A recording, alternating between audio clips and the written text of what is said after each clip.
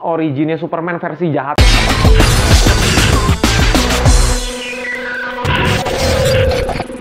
Oke, balik lagi Play Stop Rewards. Kali ini kita akan merekomendasikan kepada kalian film-film Hollywood yang rilis di bulan Mei. Dari sekian banyak daftar list film-film Hollywood yang rilis di bulan Mei, kita akan kurasi beberapa film-film yang pantas untuk kalian tonton nantinya. Oke, langsung aja yang pertama. Yang pertama ada Long Shot. Long Shot ini gue nggak perlu jelasin panjang lebar, kalian bisa nonton reviewnya atau baca tulisan artikelnya di kumparan.playstoprewards.com. Yang kedua ada Hustle. Ini film komedi juga, tapi yang membuat gue menarik adalah bukan plotnya, tapi karena ada Anne Hathaway dan Rebel Wilson, dua aktris komedi ikonik yang paling lucu yang menurut gue the best banget lah kalau misalkan dijadiin duet di film ini. Selanjutnya Pokemon Detektif Pikachu. Nah kalau ini gue nggak perlu jelasin lah kenapa bagus lah. Karena ini berbicara tentang Pokemon, karena ini ada Pikachu-nya dan Ryan Reynolds mengisi suara The Pikachu. Jadi dari trailernya pun juga udah menarik. Selanjutnya Tolkien. Nah J.R.R. Tolkien adalah orang yang membuat universe dari Middle Earth yaitu Lord of the Rings, The Hobbit dan macam-macam lainnya. Nah di film Tolkien ini adalah bukan tentang Lord of the Rings ya, tapi tentang autornya ini bagaimana dia menciptakan karya yang super fenomenal sampai sekarang ini yang menjadikan referensi dari karya-karya fantasi lainnya bisa se sebegini gitu bagaimana prosesnya bagaimana ia bisa mendapatkan inspirasi-inspirasi untuk bisa menciptakan Middle Earth ini. Selanjutnya John Wick Chapter 3 Parabellum. Nah ini juga gue nggak perlu jelasin panjang lebar lah kenapa harus nonton ini karena ini John Wick Keanu Reeves dan udah sequel yang ketiga. Selanjutnya Aladdin. Ini juga gue nggak perlu jelasin panjang lebar kenapa perlu ditonton karena ini Disney dan ini live action dan ini Aladdin. Selanjutnya Brightburn. Nah Brightburn ini unik nih. Jadi cerita dari Brightburn ini seandainya Superman waktu masa kecil itu instead of menjadi superhero hero tapi dia menjadi orang yang dendaman, menjadi evil. Bisa dibilang ini film originnya Superman versi jahatnya lah gitu. Kayak Carrie tapi versi Superman. Selanjutnya Ad Astra. Nah, film ini sih sebenarnya tentang perjalanan ke luar angkasa gitu, kayak Gravity, The Martian atau Interstellar. Tapi yang membuat ini menarik buat gue adalah aktornya yang memerankan dari film ini adalah Brad Pitt. Jadi semua film yang diperankan oleh Brad Pitt ini nggak ada yang mengecewakan sih. Jadi gue cukup menunggu-nunggu film tentang luar angkasa yang diperankan oleh Brad Pitt. Selanjutnya Godzilla. Ini juga gue nggak perlu panjang-panjang panjangin untuk jelasin karena ini Godzilla dan kedua adalah semua monster musuhnya muncul semua di sini. Kalian pasti akan menyaksikan pertarungan epic antara Godzilla lawan banyak monster lainnya. Selanjutnya Rocketman. Nah, Rocketman ini juga gue nggak mau panjang-panjang jelasin karena kita punya videonya sebelumnya. Jangan nonton film Rocketman sebelum kalian tahu fakta-fakta itu. Nah, di situ juga gue selain memberikan fakta menarik, tapi gue juga memberikan film ini tentang apa sih dan kenapa ini menarik gitu. Yang terakhir adalah Ma.